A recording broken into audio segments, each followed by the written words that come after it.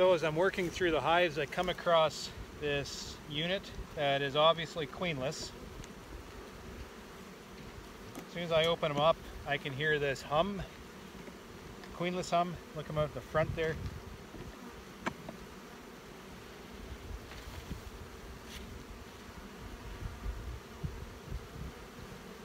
There seems to be a good mass of bees in here, probably three or four frames worth of bees. They're not organized. They're just kind of hummy. There's no eggs in this colony. So this is obviously a queenless unit. Queen died over the winter probably. But there's a mass of bees in here. You can probably hear that hum.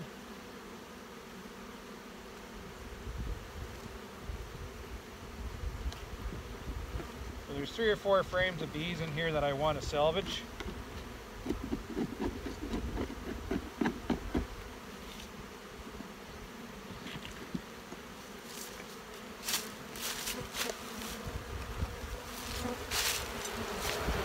Do you hear that hum?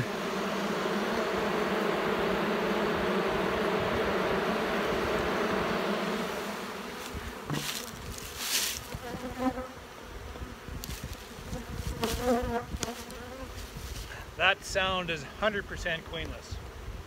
Okay, so I have all these bees in here. I could simply just shake them out for another colony. They'd go into this guy and, and live on life.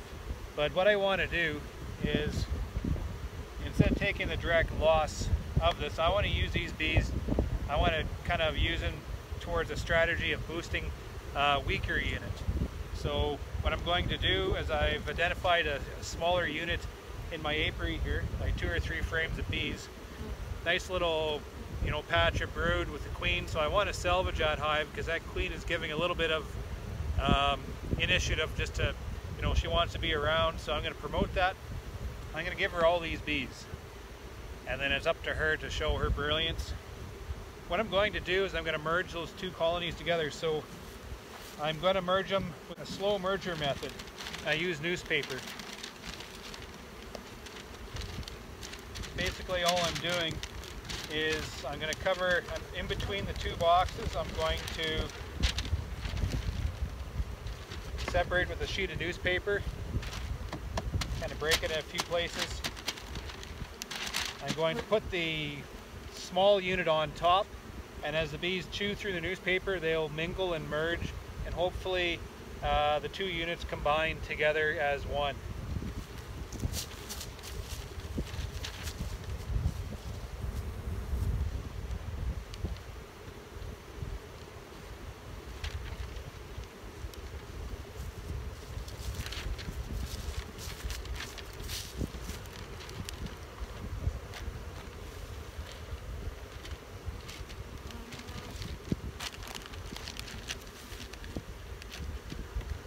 There.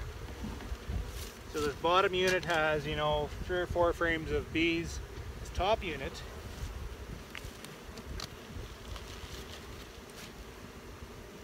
very small.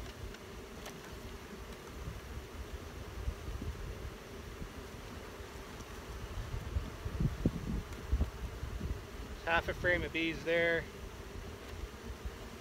Looking at, you know, a little bit of bees here a real nice brood pattern going on. There's the queen, she looks healthy. So she has like half a frame of brood going on. It's probably a frame of bees. I'm anticipating that these two colonies will merge.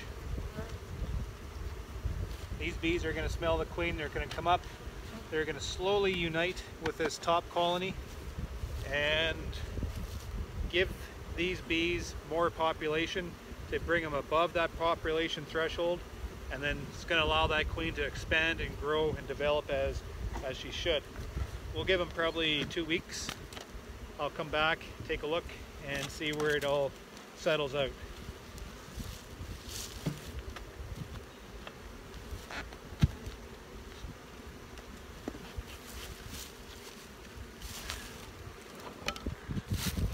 It's just one of those little beekeeper tricks to uh, to keep bees in these boxes, just to keep these boxes full of bees.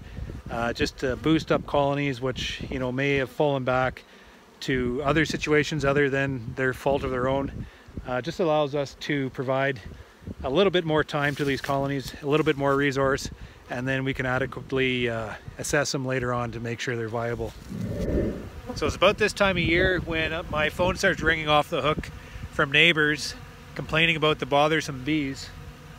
These bees, the trees haven't come out in bloom yet, so they're just scouring the area for any type of protein.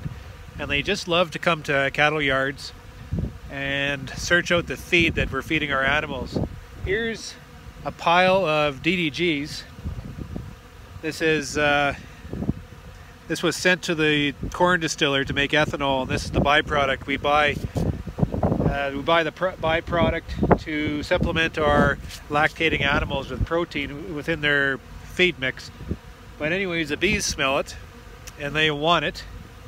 And as you can see, they are trying their hardest to bring it back to the yard.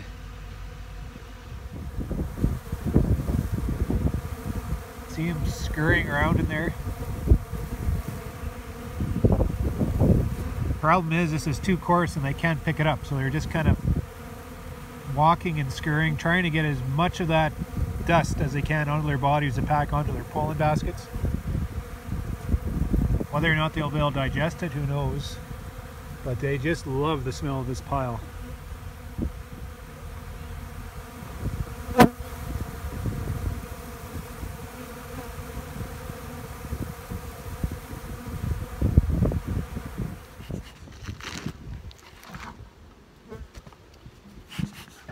So last fall, I think you'll remember, I was kind of freaking out a little bit because my uh, hives had shut down brood rearing middle of August. And I could not get them to initiate a brood nest past uh, second last week of uh, August. I could not get them into September.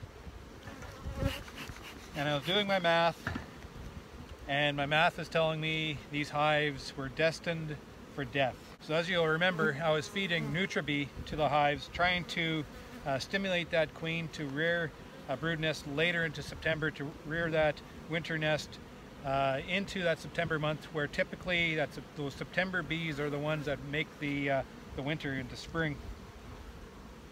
But I could not get my hives to rear brood past that middle of August date. I could not, no matter how much uh, supplement I put on them or how I was feeding my syrup.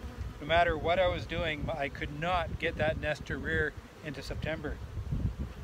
But those bees were on the NutriBee and they were just devouring the stuff. They were, they, you would think they would be translating that supplement into the brood nest, into some brood rearing, but they weren't.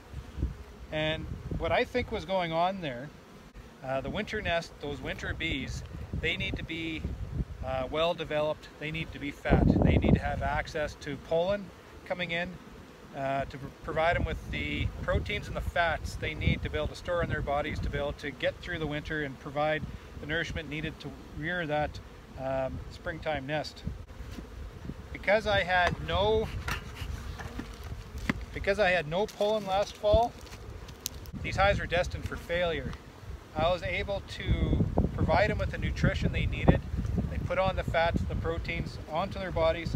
They are developing a fantastic first round of brood here to be able to turn this winter nest into that spring nest. So I can confidently say now that all the efforts we had put into feeding supplement in the uh, in the fall, I wasn't seeing it translate directly into the brood nest at that time, but I, but now I'm seeing it, it was directly translating onto the fat stores of those bees which they're using now to develop this beautiful, beautiful nest. This is the reason why I put a lot of attention on nutrition and just to help provide a little more predictability within my apiary. So I'm working through the apiary and I come across this yard which um, I don't know if you'll remember last fall but um, later on in September uh, there's a little bit of criticism that I should have been feeding my apiary more supplement at the time. Uh, the comment was I was missing the opportunity. I missed my opportunity. So these six hives, dead, dead, dead, dead, weak, weak. were the hives that I had put supplement on late in September. And as you can see, they're either dead or extremely weak, they'll probably die. Now the reason why I'm pointing this out is because I just want to show that conditions between beekeepers, between different apiaries, are all different. And we have to be able to recognize and manage the conditions at hand. Just because one beekeeper is having success doing one thing within his apiary doesn't mean it is going to directly translate into what we're going to be doing in our own apiary. So we got to be extremely careful, especially social media. You guys are watching these videos, everybody's on Facebook, and we're looking at everybody's success all the time and we're trying to mimic what they're doing. But what we have to do is we have to understand what's going on and then try to make that suit what we're doing within our environment and our conditions. Just because someone said I should have been feeding supplement to my hives late in the season to try to rear more brood would have resulted in catastrophic loss. And obviously that would have been the wrong decision. I know my apiary, I know my bees, I know how the hives set up their winter nest, I know how to promote the nutrition around uh, developing uh, a well-fed winter bee. I also know when to stop, and you got to know those boundaries.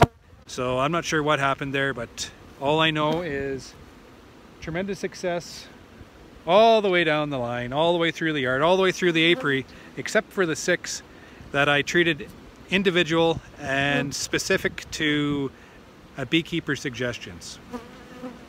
So today we worked through a yard and I've been taking samples all through the yard just to uh, analyze the, the, the mite counts and the uh, nosema infection within the apiary.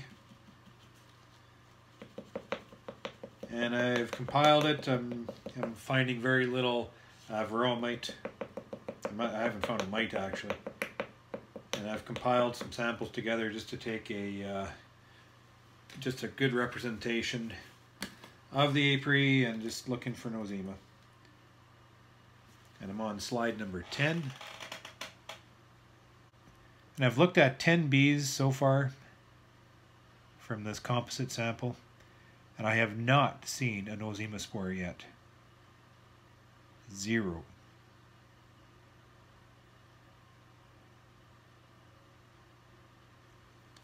Which is awesome. So that just uh, shows me that my apiary has virtually no nosema infection. I'm going to send the sample away. I'm going to wait for the lab in uh, Winnipeg and at the U of M to start up and get my diagnosis through them. But for the time being, um, this is really good news. I'm not finding any nosema spores. Um, just that one hive that I identified as being as acting unusual in behavior. Um, that one was just riddled with nosema. But as far as taking a random sampling right through the apiary, zero nosema, and I haven't found a mite yet. So that is good news.